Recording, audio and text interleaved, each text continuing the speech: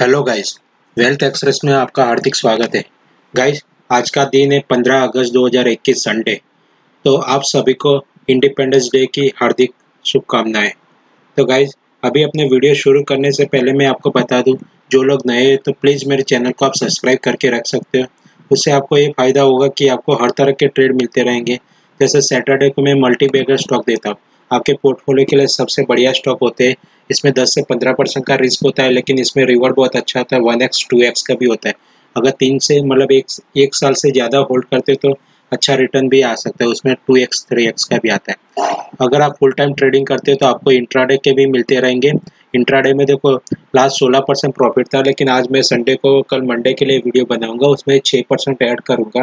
मैंने एक थर्सडे को स्टॉक दिया था, उसमें छः परसेंट का प्रॉफिट बुकिंग हुआ था। यानी मैं एक्सेल सीट पे पूरा ट्रेड लॉग आपको समझाता हूँ। उसके बाद ही मैं यहाँ पे जो भी प्लस माइनस होता है प्रॉफिट लॉस लिखता हूँ। तो अभी सोलह प्लस छः यानी बाईस परसेंट का वीडियो आएगा, बाईस परसेंट प्रॉफिट में चल रहा है। तो आपको इंट्राडे भी मिलते रहेंगे और हर संडे को मैं स्विंग ट्रेड देता हूँ। स्विंग ट्रेड का टाइम ओरिजन होता है वो एक से तीस दिन का होता है। इसमें रिस्क होता है दो से तीन परसेंट का होता है और रिवॉर्ड होता है वो आठ, दस परसेंट पंद्रह परसेंट जैसे स्टॉक का स्विंग होता है। अगर बड़ा स्विंग है तो उसमें ज़्यादा रिवॉर्ड मिलता है। तो इसीलिए मैं बोलता हूँ कि प्लीज़ मेरे चैनल को आप सब्सक्राइब करके रख सकते हो।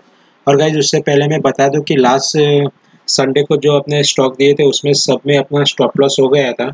उसके पीछे का मेन रीज़न वही था कि आपने देखा होगा कि मिड कैप और स्मॉल कैप में बहुत हैवी सेल ऑफ़ आया था। उसकी वजह से स्टॉप लॉस हो गया था, फिर ऊपर भी आ गए थे। लेकिन स्टॉप लॉस क्लोज क्लोज अपने स्टॉप लॉस लेवल के नीचे जो जो दिया है तो अपने स्टॉप लॉस में काउंट करेंगे।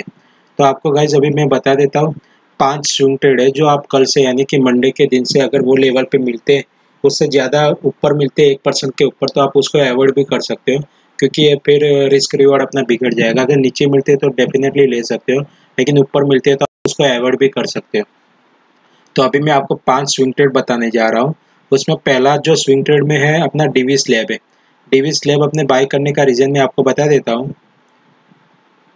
तो आप देखोगे तो आपको सिंपली यहाँ से पता चल जाएगा कि अभी टीवी स्लेब है वो। चैनल में ट्रेड कर रहा है। ऊपर जा रहा है, नीचे आ रहा है, फिर थोड़ा सपोर्ट ले रहा है, फिर से ऊपर जा रहा है, फिर से नीचे आ रहा है। और अभी बार बार यहीं पे सपोर्ट ले रहा है। देखोगे यहाँ पे ए कैंडल मतलब दो तीन कैंडल बनाई वहाँ पे बहुत ज़्यादा सपोर्ट ले रहा है। तो इसका मतलब ये हुआ कि स्टॉक मल्टीपल सपोर्ट भी ले रहा है और उसको साथ साथ ट्रेंड लाइन का भी सपोर्ट है। यानी डी स्लैब को अपने बाय कर सकते हैं। रिस्क रिवॉर्ड के हिसाब से ठीक ठाक स्टॉक है। और आप देखोगे मैंने ऊपर से ट्रेंड लाइन भी ड्रॉ की है। अगर स्टॉक वीक होता तो ये ट्रेंड लाइन को ब्रेक नहीं करता, लेकिन उसने ब्रेक करने के साथ साथ उसके ऊपर क्लोजिंग भी दिया है। आप देखोगे एक कैंडल तो यहाँ से स्टॉक ऊपर जाने के बहुत हाई चांस है और अपना रिस्क है वो इतना ही है। और रिवॉर्ड बहुत अनलिमिटेड हो सकता है, अगर आप कैरी फॉरवर्ड करते हो।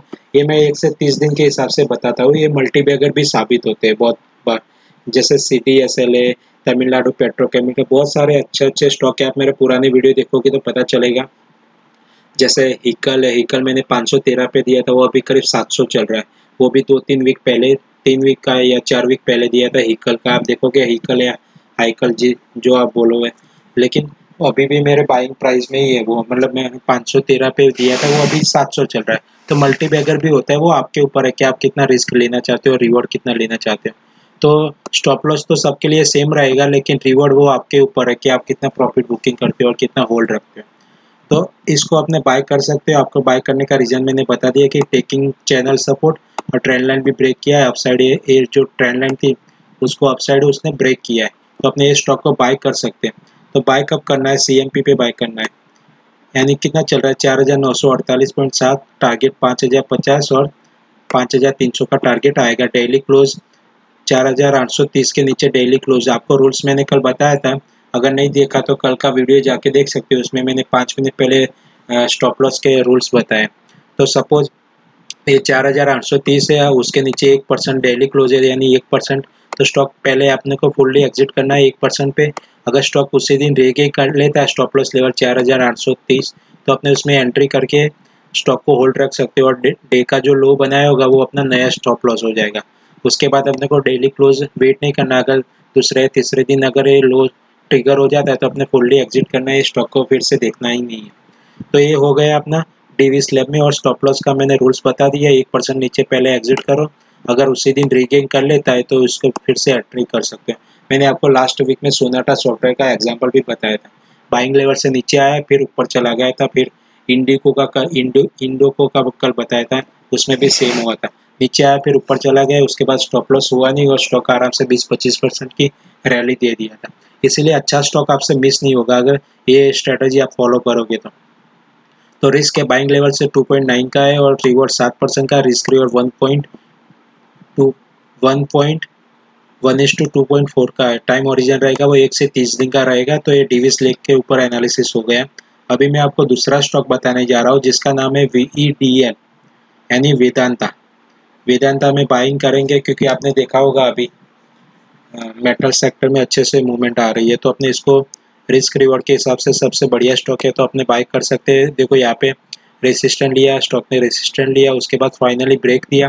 ब्रेक देने के बाद रिटेस्ट किया रिटेस्ट के बाद फिर से प्रीवियस हाई बनाया था, उसको भी ब्रेक करके ऊपर गया, अभी वही लेवल पे चल रहा है। यानी रिस्क अपना इतना ही है, जो प्रीवियस लो बनाया था, उतना ही रिस्क है तो अपने इसको ट्रेड कर सकते हैं। उसके पीछे का बताया मैंने रीजन की रेसिस्टेंट अभी देखो यहाँ पे सपोर्ट लिया है।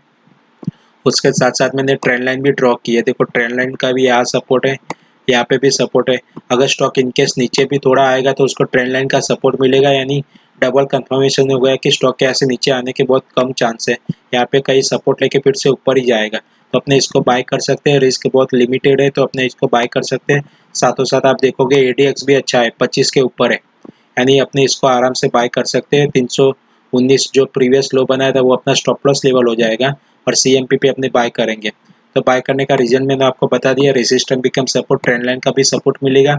एडीएक्स भी 25 के ऊपर यानी मोमेंटम स्टॉक है तो आराम से यहाँ से 10 परसेंट तो आराम से रैली दे सकते हैं।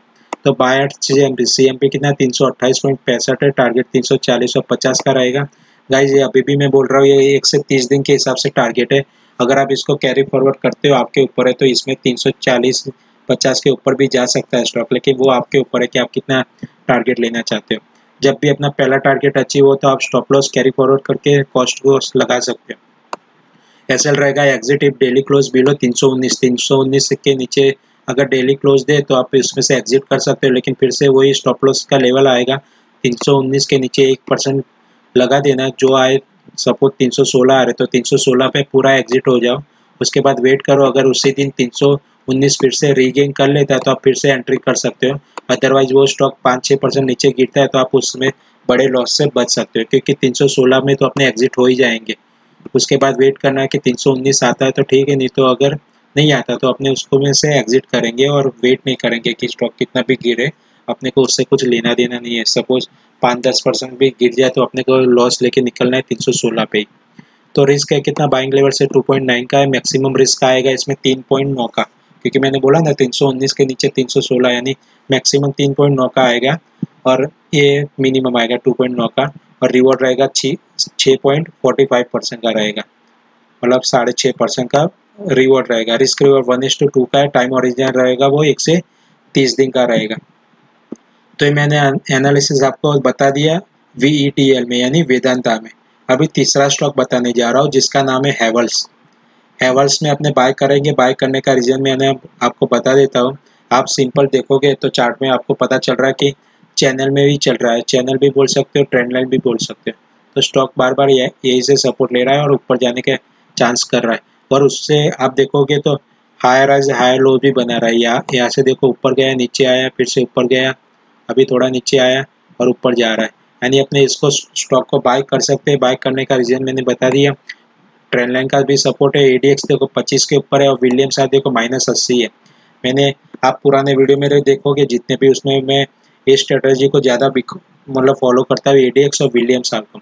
तो विलियम्स आर माइनस अस्सी होता है मतलब लास्ट स्विंग होता है स्टॉक का, फिर वो स्टॉक ऊपर जाता है। तो अपने इसको बाय कर सकते हैं। तो बाय कब करना है? Buy at C M P करना है। पहले टेकिंग चैनल सपोर्ट आपको समझा दिया। Buy on dips with A D X trading about support candle इसका मतलब क्या हुआ? आप ध्यान से देखोगे, जो सपोर्ट कैंडल है रेड कैंडल बनी है, उसके ऊपर स्टॉक ने क्लोज भी दिया है ए लाइन के ऊपर ही ट्रेड कर रहा है। यानी बहुत अच्छा कंफर्मेशन है कि स्टॉक के से ऊपर जाने के लिए रेडी है। तो रिस्क अपना लिमिटेड रहेगा रिवॉर्ड आप चाहे उतना ले सकते हो। तो buy at C M P बारह सौ फोर्टी फाइव फोर्टी टू चल रहा है टारगेट तेरह सौ, चौदह सौ का रहेगा। और एस एल ई पे एग्जिट डेली क्लोज बिलो ग्यारह सौ नाइन्टी सिक्स ग्यारह सौ नाइन्टी सिक्स यानी उसका जो लास्ट स्विंग था, वो अपना स्टॉप लॉस लेवल रहेगा। रिस्क रहेगा बाइंग लेवल से 3.9 का 3.7 का। रिवॉर्ड रहेगा 12.7 का। रिस्क रिवॉर्ड रहेगा 1.3 यानी 1.3.1 इस टू थ्री का रहेगा। सॉरी गाइज़ टाइम ओरिजिन रहेगा वो अपने एक से तीस दिन का रहेगा। तो तीसरा स्टॉक अपना हो गया हैवल्स तो गाइज़ आप मेरी स्ट्रेटजी देखोगे तो सिंपल होती है प्राइस एक्शन के ऊपर होती है, लेकिन लॉजिक के साथ मैं समझाता हूँ आपको। ऐसे हवा में तुक्का नहीं मरता, आप देखोगे तो ट्रेंड लाइन का सपोर्ट है, उसके पीछे का रीज़न क्या है?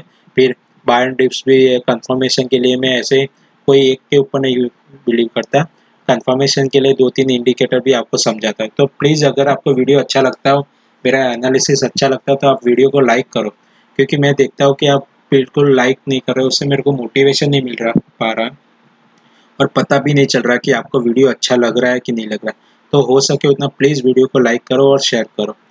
अभी मैं आपको चौथा स्टॉक बताने जा रहा हूँ जिसका नाम है एस के ऐप इंडिया तो गाइज़ मैं लाइक करने के लिए इसलिए बोल रहा हूँ क्योंकि ये जो स्टॉक होते हैं मैं कम से कम आ, कल रात को ये 700 से 800 stock one by one filter किए उसके बाद मैंने ये पाँच स्टॉक आपके लिए लेके आया हूँ जो सबसे बढ़िया है।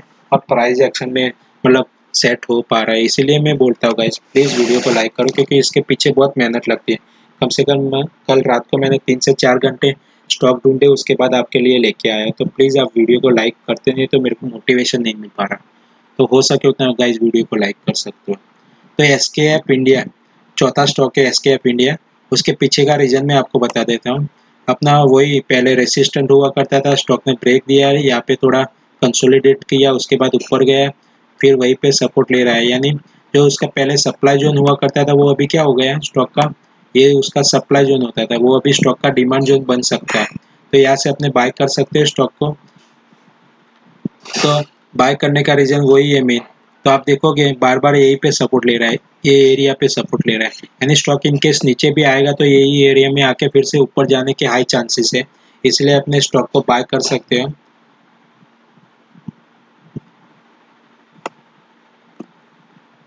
तो अपने इसको बाय करेंगे। देखो S K F India resistant become support आपको समझा दिया। तो बायर सी एम पी अट्ठाईस सौ अट्ठावन पॉइंट पैंतीस चल रहा है। टारगेट तीन हज़ार और तैतीस सौ का रहेगा। तैतीस सौ का यानी तीन हज़ार पहला टारगेट उसका जो प्रीवियस था, ये जो प्रीवियस आई वो अपना तीन हज़ार, उसके बाद तैतीस सौ का भी आ सकता है, क्योंकि मोमेंटम स्टॉक होते हैं। ऐसा एग्जिटिव डेली क्लोज बिलो सत्ताईस सौ साठ, यानी उसका जो ये सप्लाई जोन अभी डिमांड जोन बन गया, उसका लास्ट ले गए सत्ताईस वाला, सत्ताईस उसके नीचे डेली क्लोज दे तो स्टॉक यहाँ से वीक भी पड़ सकता है। इसीलिए ज़्यादा रिस्क रिवॉर्ड के हिसाब से ठीक ठाक स्टॉक है रिस्क है तीन पॉइंट चार परसेंट का रिवॉर्ड है पंद्रह परसेंट का। तो रिस्क रिवॉर्ड के हिसाब से वन एस टू चार का रिस्क रिवॉर्ड है। और टाइम ओरिजिन रहेगा वो एक से तीस दिन का रहेगा। तो ये अपना चौथा स्टॉक हो गया एस के एफ़ इंडिया तो उसमें भी आप ट्रेडिंग करके एक अच्छा मुनाफा ले सकते हो गाइज़ सॉरी गाइज़ अभी मैं आपको पांचवा और एक आखिरी स्टॉक बताने जा रहा हूँ, जिसका नाम है क्रिसिल क्रिसिल में बाय करने का रीजन मैं आपको बता देता हूँ गाइज़ तो देखो आप, यहाँ पे कहीं रेसिस्टेंट ले रहा था स्टॉक फिर क्या किया स्टॉक ने? ब्रेकआउट दिया. ब्रेकआउट देने के बाद वही लेवल को रिस्पेक्ट किया. देखो ये एक बार, दो बार सपोर्ट लिया, फिर से ऊपर गया. ऊपर जाने के बाद अभी क्या कर रहा है स्टॉक वही लेवल पे आ रहा है. यानी उसका जो पुराना, पहले ये सपोर्ट लेवल हुआ करता था, वही लेवल पे आ रहा है. तो अपने को कंफर्मेशन कैसे मिलेगा कि वही लेवल पे सपोर्ट लेगा? उसके लिए मैंने आपको ट्रेंड लाइन ड्रॉ किया। तो आप ट्रेंड लाइन देखोगे तो यहाँ पे सपोर्ट ले रहा है, उसके बाद यहाँ पे फिर से सपोर्ट आ रहा है और अपना जो बाइंग स्टॉप लॉस लेवल है, उसके ऊपर ट्रेंड लाइन जा रही है। यानी स्टॉक यहाँ से सपोर्ट कई ट्रेंड लाइन पे लेके ऊपर जाने के हाई चांसेस है। इसीलिए मैंने इसको बाइंग प्राइस पे डाला है कि ये बाइंग प्राइस पे आप ले सकते हो। तो स्टॉक को यहाँ पे सपोर्ट था तो यहाँ पे भी सपोर्ट ले सकता है और ट्रेंड लाइन का भी सपोर्ट है। तो रेसिस्टेंट बिकम सपोर्ट आपको समझा दिया और ट्रेंड लाइन का भी सपोर्ट है। तो बायर सी एम भी अभी चल बाय कर सकते हो। पच्चीस सौ फोर्टी थ्री पॉइंट सिक्स चल रहा है। टारगेट बहुत अच्छा है, उसमें उनतीस सौ पचास और बत्तीस सौ का टारगेट है। रिस्क रिवॉर्ड के हिसाब से सबसे बढ़िया स्टॉक है। S L exit daily close below पच्चीस सौ। देखो, आप देखोगे तो सिर्फ़ फोर्टी थ्री रुपीज़ का ही अपने को लॉस है। क्योंकि इसके नीचे क्लोज देगा तो स्टॉक में भी ज़्यादा नीचे आ सकता है और बाईस सौ तक भी आ सकता है। इसलिए स्टॉप लॉस लगाना बहुत ज़रूरी है। तो बाइंग लेवल से आप बाय कर सकते हो रिस्क है 1.7 का सिर्फ़ देखो गाइस इतना तो इंट्राडे में सब स्टॉप लॉस देते हैं, मैं आपको स्विंग ट्रेड में इतना दे रहा हूँ।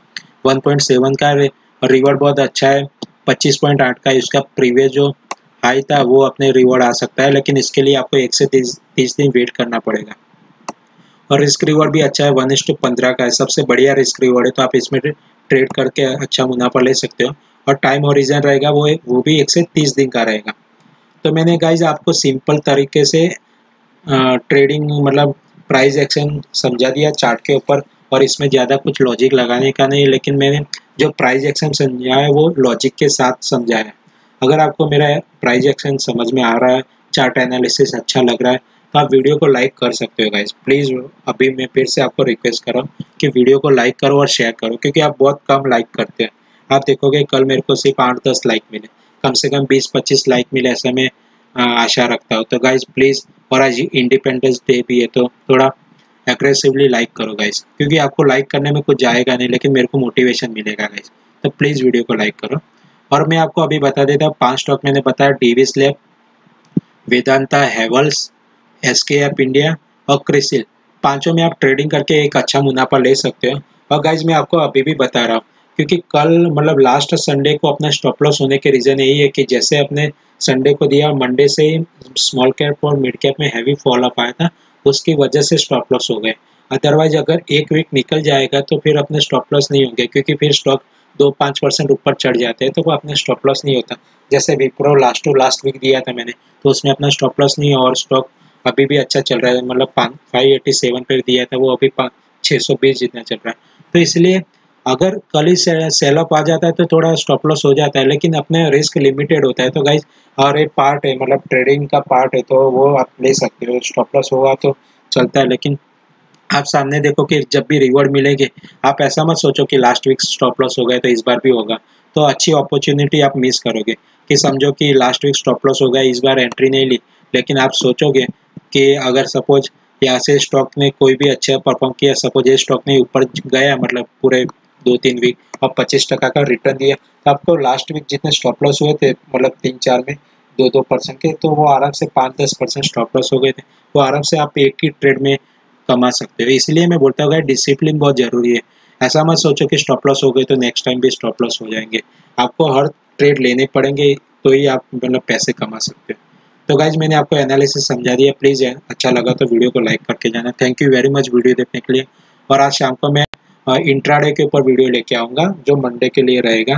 तो वो भी वीडियो आप देख सकते हो अगर फुल टाइम ट्रेडिंग करते हो तो वो भी वीडियो देख सकते हो thank you very much guys मिलते हैं आज शाम को इंट्राडे के वीडियो में। Thank you bye take care